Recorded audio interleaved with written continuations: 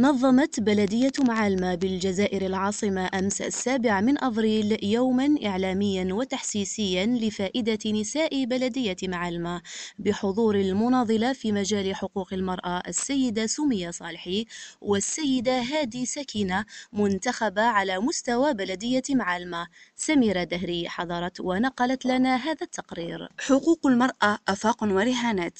هو عنوان اليوم التحسيسي الذي نظمته بلدية معلمة بالجزائر العاصمة أمس السابع من أفريل بمشاركة المناضلة في مجال حقوق المرأة السيدة سمية صالحي والسيدة هادي سكينة منتخبة على مستوى بلدية معلمة والسيدة حورية ألبصير منتخبة بالمجلس الولائي. وجاء هذا اليوم بهدف إزالة الغشاء والشبهات التي تحيط بقانون المرأة الجديد كما تصرح السيدة سمية صالحي. هي يعني اليوم هذا الإعلامي تحسيسي وداخل في, في إطار برنامج يعني واسع يشمل يعني عدة بلديات نتاع الجزائر العاصمة. هذا اللقاء جاء بمبادرة سكينة هي منتخبة على مستوى بلدية محلمة لبادرت يعني بتنظيم هذا اليوم التحسيسي حول حقوق المرأة وخاصة باش تكون عندنا يعني وقفة فيما يخص القوانين يعني لسير حياة المرأة وخاصة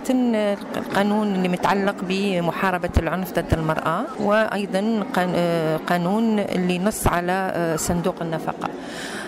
ويكون يعني مجال نفتح فيه النقاش مع كل المواطنات اللي متواجدات على مستوى على مستوى بلدية محلمة. وشرحت السيدة سمية صالحي بالتفصيل المبسط أهم المحاور التي جاء بها القانون الجديد الذي شهد ضجة كبيرة بين مؤيد ومعارض حيث تكلمت عن عدة محاور كالتحرش في مكان العمل العنف الزوجي العنف الاقتصادي موضحة أن القانون جاء لحماية المرأة والحفاظ على كرامتها في المنزل والشارع وأماكن العمل كما أنها تناولت صندوق النفقة للمرأة الحاضنة التي ترى أنه مبادرة لحماية الطفل والمرأة المرأة في آن واحد وجاء ليعوض عجز الوالد عن تقديم النفقة لأبنائه. هذا ما تشاطرها فيه الرأي السيدة هادي سكينة منتخبة على مستوى بلدية معلمة. السيدة هادي سكينة منتخبة على مستوى بلدية معلمة. يعني هذا القانون تاع المرأة اللي دار ضجة كبيرة إعلامية وصار تغليط عند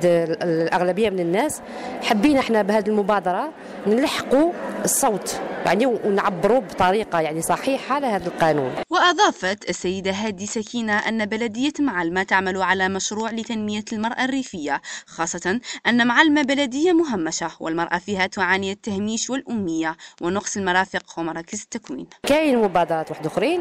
d'ailleurs on est en train de travailler sur l'émancipation de la femme rurale عندنا برنامج تسطر من طرف وزارة التضامن. ويعني فيه فيه حوايج بزاف ملاح يمسوا المرأة. surtout حنايا on est dans معالمة c'est une commune très enclavée et عايشين شغل على الهامش تاع العاصمة.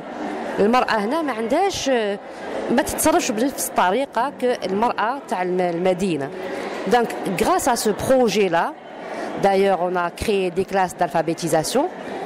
مع الأول يعني شفنا نوشوز تاع النساء ما كانوش حابين يجوا finalement, grâce à ce projet, etc., qui va leur permettre d'avoir des, des diplômes وشهادات تاع التحرر من الاميه راح يمكنهم باش يعني يدخلوا مكان الشغل ويعني y a beaucoup vraiment vraiment des choses très très très pour ces femmes ولقد تلقت هذه المبادرة استحسانا كبيرا من النساء الحاضرات اللواتي استغلين الفرصة لطرح انشغالاتهن وتجاربهن حيث صرحت إحدى المسنات شكرا بناتي على كل هذه المجهودات لقد عانينا الكثير في حياتنا في تربية الأولاد والمطبخ. أما اليوم فنحن نريد أن ندرس أن تكون لنا جمعية تثقيفية مثلنا مثل البلديات الأخرى ومرافق للمرأة للتنفيس عنها والخروج من نمط الحياة الروتينية.